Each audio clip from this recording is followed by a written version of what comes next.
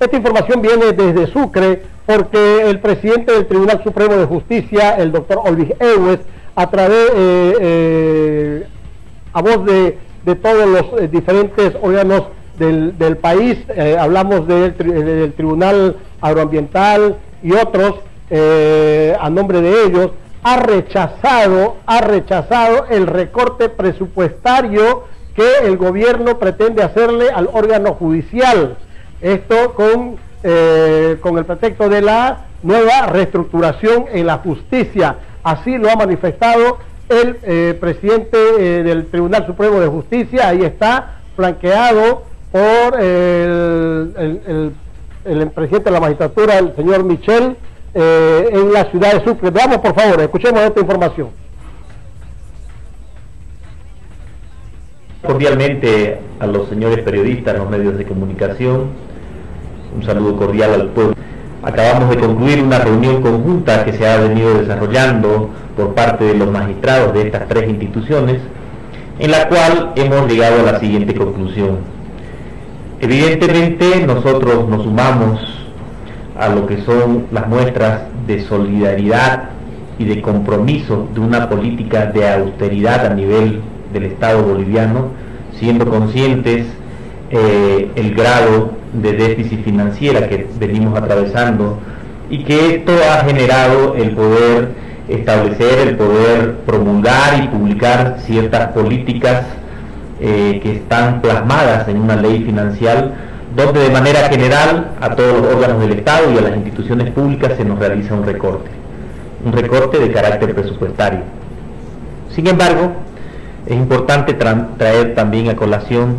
de que de un profundo debate y análisis técnico, jurídico, eh, realizado eh, hace minutos atrás, se ha llegado a establecer de que nosotros como órgano judicial consideramos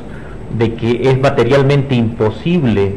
el poder sostener un recorte presupuestario de 170 y más millones de bolivianos que nos afectaría como órgano judicial y que dentro de lo que representa la partida de sueldos y salarios tendríamos que recortar alrededor de 97 millones de bolivianos.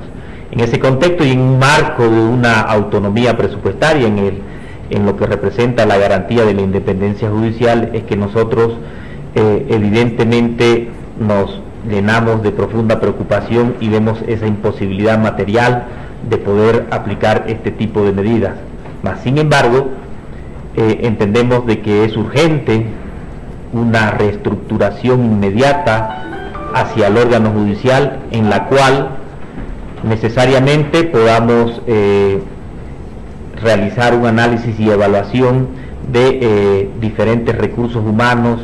de carácter administrativo en estas tres instituciones, el Tribunal Supremo de Justicia, el Consejo de la Magistratura, además del Tribunal Agroambiental, con la finalidad de poder eh, evitar duplicidad de funciones y reducir el personal en ese sentido. Siempre evitando afectar a lo que representa la parte jurisdiccional, a lo que representan eh, la disminución de ítem de juzgado, de jueces, que eh, cumplen la función y los principios de carácter constitucional, como es el acceso a la justicia,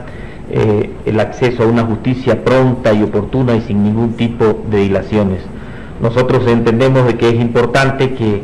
esa reestructuración se vea reflejada en una ampliación de lo que representa el número de jueces y de juzgados a nivel nacional para bajar la mora procesal. Muchas gracias. Eh, a los amigos de la prensa, al señor presidente del Tribunal Supremo, la señora presidenta del Tribunal Agroambiental. Efectivamente, ese análisis exhaustivo de las tres salas plenas del Tribunal Supremo de Justicia, del Tribunal Agroambiental y del Consejo de la Magistratura